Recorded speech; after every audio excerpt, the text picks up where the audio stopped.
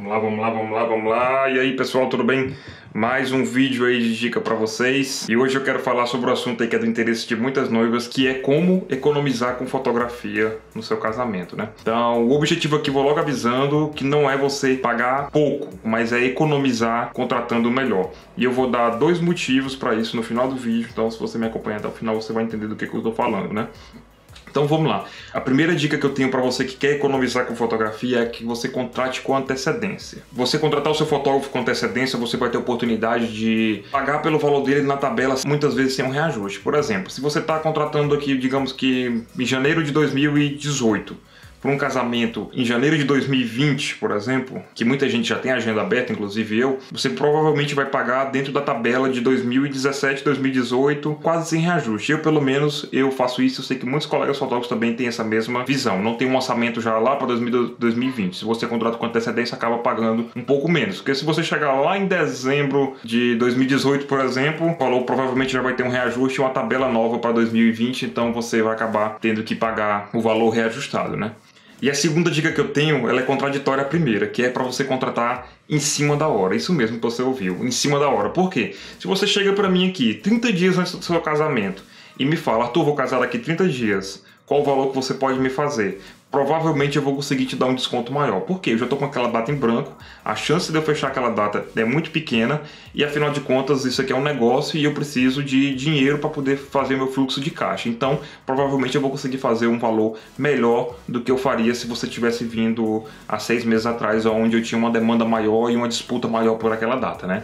Então, é só que isso tem um pequeno porém, que é você não tem a chance de escolher a dedo o seu fotógrafo predileto, né? Porque possivelmente a data não vai estar disponível. É muito raro você conseguir chegar 30 dias antes do casamento e ter aquele fotógrafo que você sonhou com ele, aquele fotógrafo que você queria no seu casamento, com a data disponível, né? Então, acho que não vale a pena arriscar, né? Mas enfim, é uma dica também. A terceira dica que eu dou é para você casar nos meses menos concorridos. Pelo menos aqui para mim, aqui, aqui em Fortaleza, e eu acho que para mim, para a maioria dos fotógrafos, os meses mais concorridos estão no segundo semestre. Então vai lá de julho a dezembro, ali sendo setembro, outubro e novembro os três meses mais concorridos em termos de data. Se você casa num desses três meses, a probabilidade de ter a data disponível é menor e a de conseguir um desconto bom também é muito menor ainda, né?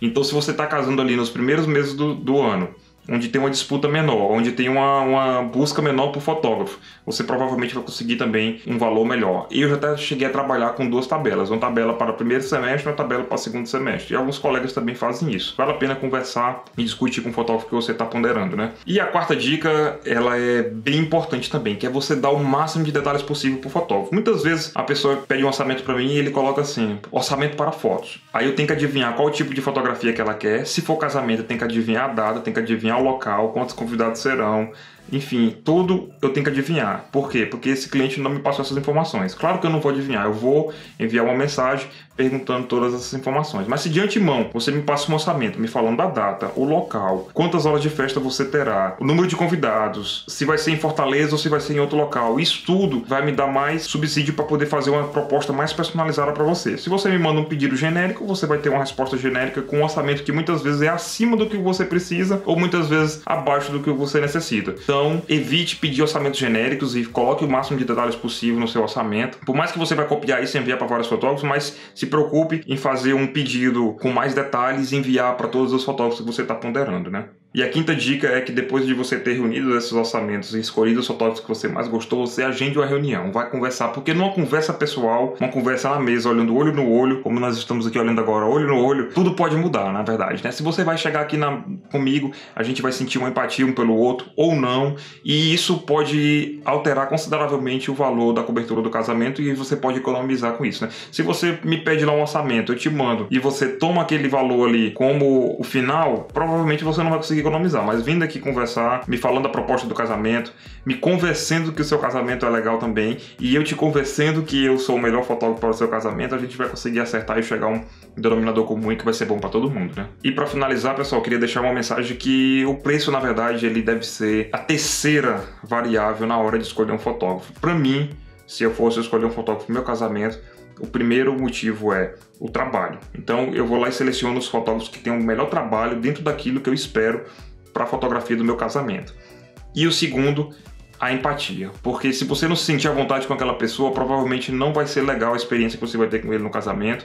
E querendo ou não, o fotógrafo é uma das pessoas que fica mais tempo com você durante o evento, muito mais até do que a sua própria família, né? Então é importante escolher uma pessoa que você se sinta à vontade, que você goste de estar do lado daquela pessoa e em terceiro lugar você coloca o preço. Então, se por acaso você tiver um empate entre um fotógrafo que tem um trabalho excelente e um fotógrafo que é bem bacana, que você gostou do estilo dessa pessoa, mas há uma diferença de preço considerável entre eles, aí claro você deve ir para aquele que cobra menos. Mas eu acho que na hora de colocar a sua lista lá de prioridades, é, não coloca preço, coloca o trabalho em primeiro lugar Segundo lugar, empatia. Essa empatia você vai descobrir numa reunião que vai se reforçar mais ainda no, no possível ensaio pré-casamento que você possa fazer com esse fotógrafo. E é basicamente isso, né? Eu acho que essas dicas aí que eu tinha para dar. Se tiverem gostado, por favor, compartilhe o vídeo, marque um amigo que vai casar nos comentários que possa ser útil para ele. Me ajude a espalhar esses vídeos para poder me motivar a fazer mais ainda. E se quiser também, deixa a sugestão de vídeo nos comentários que eu vou fazer um vídeo se o assunto for pertinente àquilo que, que eu trabalho aqui. Pode ter certeza que eu farei um vídeo com a sua dúvida também. Um abraço e até o próximo. Tchau!